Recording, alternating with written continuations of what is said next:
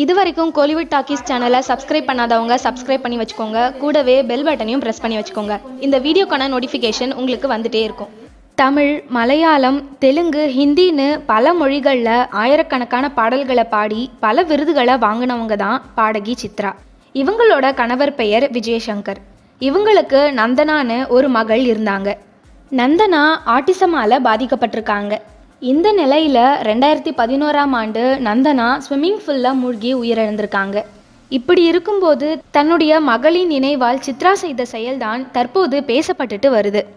அதை பற்றி இந்த வீடியோவில் பார்க்கலாம் தன்னுடைய மகளுக்கு நடந்த சம்பவத்தை நினைவில் வச்சுட்டு இருந்த சித்ரா கேரளா பர்முலா பகுதியில் இருக்க புனித கிர்கோயஸ் கேன்சர் மையத்தில் ஹீமோதெரப்பிக்கான சிகிச்சை பிரிவை இலவசமாக கட்டி கொடுத்துருக்காங்க.